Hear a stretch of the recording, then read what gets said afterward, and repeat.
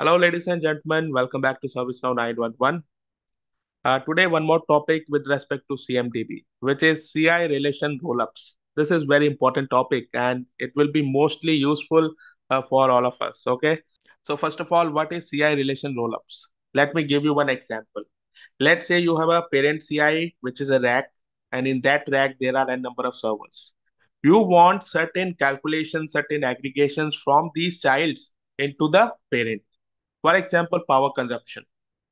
How much power is being consumed by this child and you want that number within the parent. And based on uh, this number which you get on the parent, you may do a number of things. You may do reporting.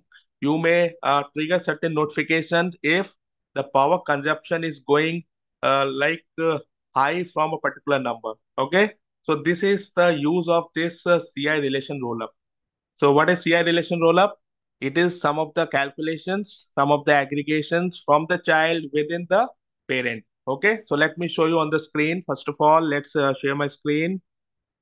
As it is a part of relationship, you see CI relationship rollups here. Click on it.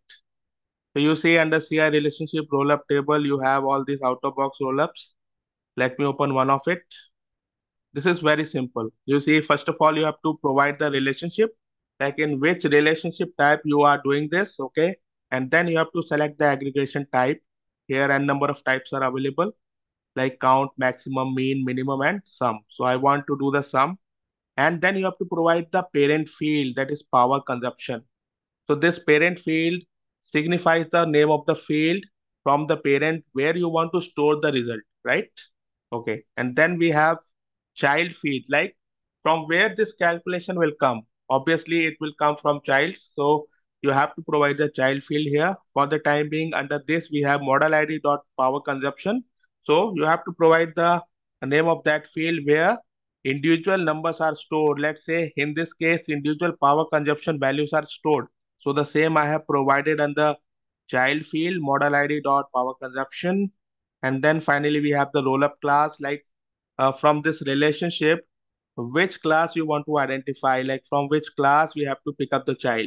So here we have decided that in racks, in a particular rack, pick up the roll-up class as server class. So the child will come from server class, which is mentioned here.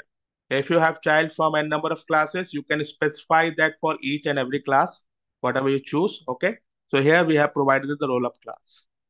So like this, we have n number of relationship roll-ups, Okay. So like uh, you see under model ID dot rack units. So we are calculating the rack units as well. So now let me show you one of the record of uh, that particular rack. You see this is one of the rack. Okay. Here you see the power consumption, rack units, rack unit in use. So you can define n number of things like that whenever you need some calculation from child to parent. Okay and then you can do reporting you can uh, set up notifications and all such uh, beneficiary stuff. So here you see it has two servers database server 1 database server 2 so based on this the calculations are happening so when you check this in the uh, you know documentation you will see two business rules. So you have to activate these two business rules if they are not in order to do all such calculations. So these are the two business rules cmdb sync event and cmdb relationship sync event. Okay.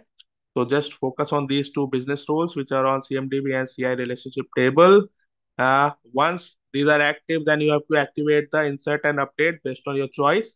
So once you are done, then you will be able to configure this uh, CI relationship rule. It is a very powerful thing. You can do very, you know, useful stuff by utilizing this concept, by utilizing this utility. So I hope you got it. If you have any question, let me know in the comment section. Thank you so much. Bye-bye.